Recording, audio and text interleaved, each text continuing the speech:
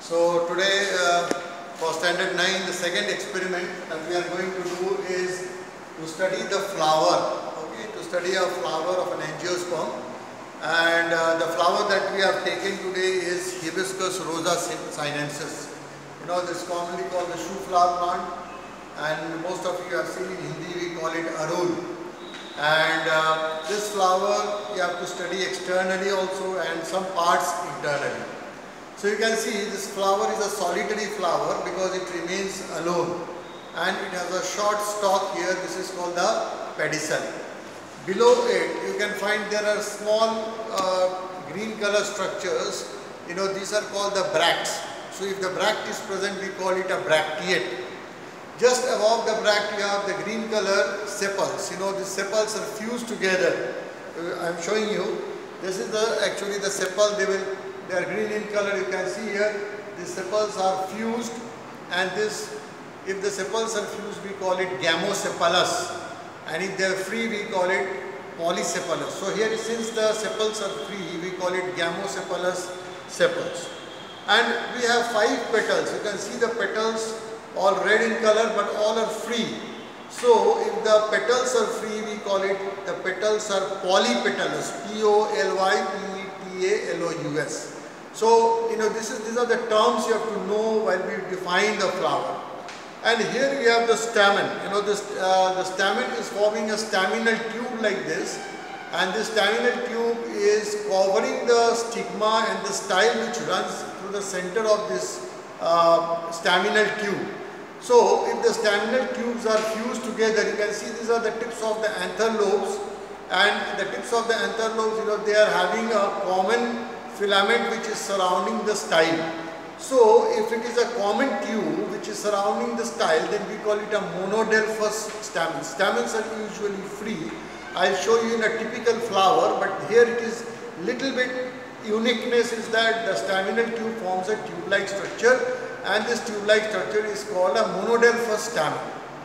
And when we dissect it, I will show you after dissecting that the style and the ovary is there here we have a ovary which is uh, bicarpellary, uh, sorry, it's a pentacarpellary ovary. Five carpels are there with many seeds.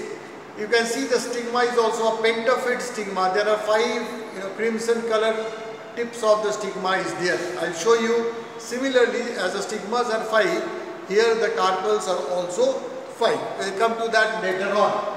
Now, what are the, so you write like this, to study the flower the materials required is a razor, a needle, a dissecting microscope, a slide. Dissecting microscope I have showed you earlier also. Dissecting microscope is to see the anther lobes or you have to see the chambers of the ovary. There we use the dissecting microscopes.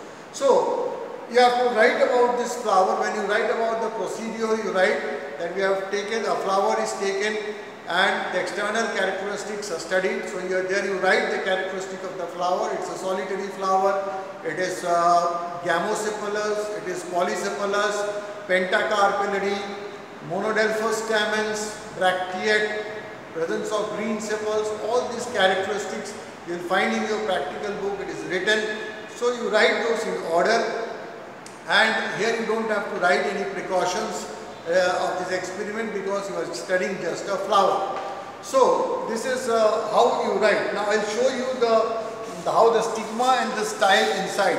You can see this is the monadelphous stamen. If you peel off the outer part, see this is I am peeling off the uh, what you call the staminal tube, what we call the monadelphous stamen, and inside you can see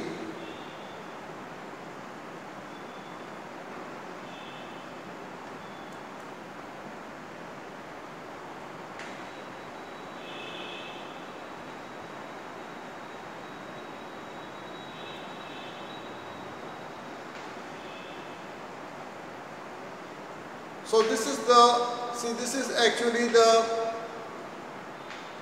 green, white color you can see. This is the style actually which is run, which runs through the center of this tube. So the, the after pollination the pollen grain travels through this style and ultimately reaches the base of the thalamus. You can see this is the thalamus and over the thalamus you can see the ovary is there. Okay, so the ovary is this uh, this particular structure. You can see the remaining of the style is on top of it. And if you take a section of this ovary, okay, if you take a section of thin section of the ovary and put it over a slide and see it under microscope, then you can see that there is a pentacarpellary ovary. So the ovary will look like this. You know, there will be five chambers, one, two, three, four, five.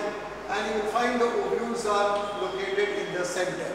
So this is uh, what you see in the flower and when you draw in your practical notebook, this, uh, this is the type of flower which you show. This is the pedicel, the thalamus, this is the gynoecium, the ovary style and the stigma, this is the anther, anther lobe, this is the petal and the sepal. Of course, this is not a, typical hibiscus rosa sinensis, this is a typical flower structure. So all that you have to write in the practical, the second practical, you will write all according to the heading as I told you, experiment 1, number 2, study of a flower and you can refer to the book. So thank you very much and stay safe and stay well.